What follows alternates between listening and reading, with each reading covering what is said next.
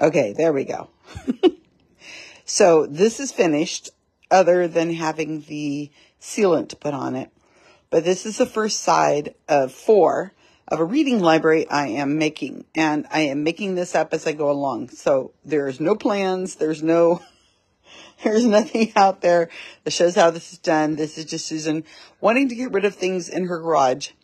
I hate throwing things away. And so I am trying to psychologically do it this way to make it easier for me to get rid of stuff.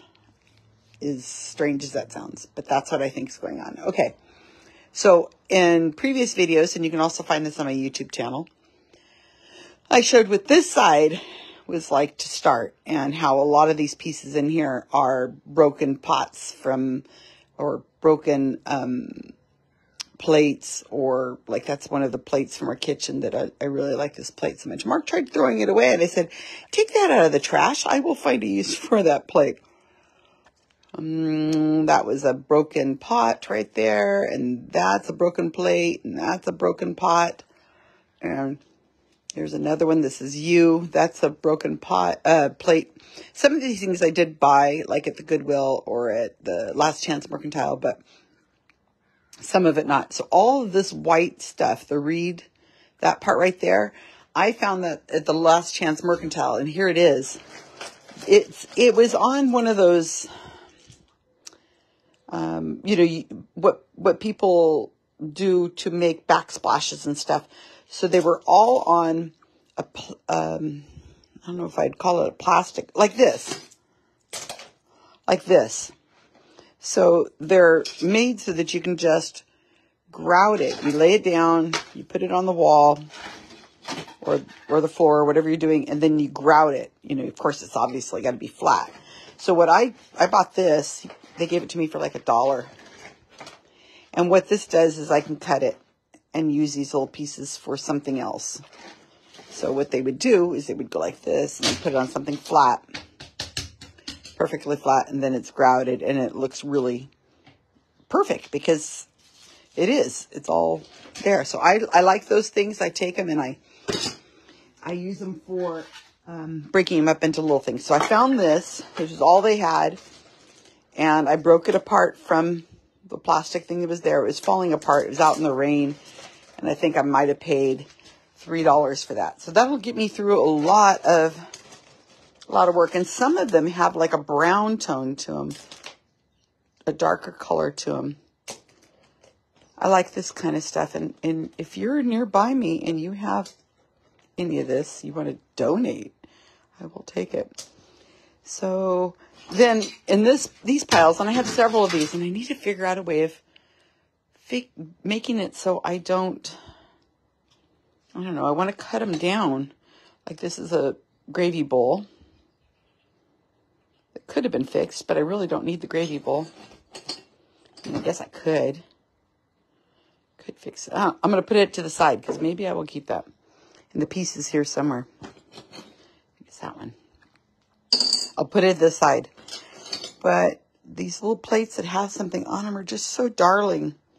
Now the back part here has this ridge, so it makes it difficult. So I can use this inside here or part of the outside. It's hard to say.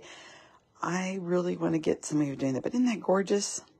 Little little horses, horse and people walking along. These kinds of things. Here's a pot. I'll be able to use, break it up and use it for something. So it doesn't matter to me that some are thick and some are thin. It really doesn't. Here's the other part of that plate. More little people. Wouldn't that cute see little people in the tile? There's a plate I got somewhere.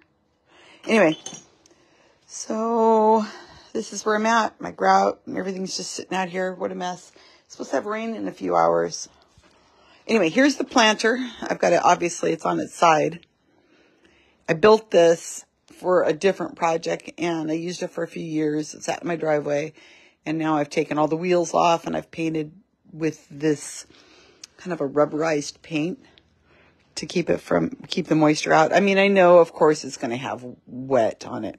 And then these areas right here, I have already made a, um, like a floor to put in there. And I've already painted those. They're right here.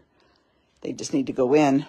I'm using junk from around the house. I am definitely not using anything nice. And then the idea is, is I'm going to build, and I have not yet figured out what I'm going to use. I'm going to build a reading library that will attach to to the leg and maybe more than one because maybe one for kids, one for adults, I don't know. And this will be hella heavy because inside we'll have plants. And then with all the tile on it and everything, it's super heavy already. So this is what the plan is. I don't know how long it's going to take me to do this.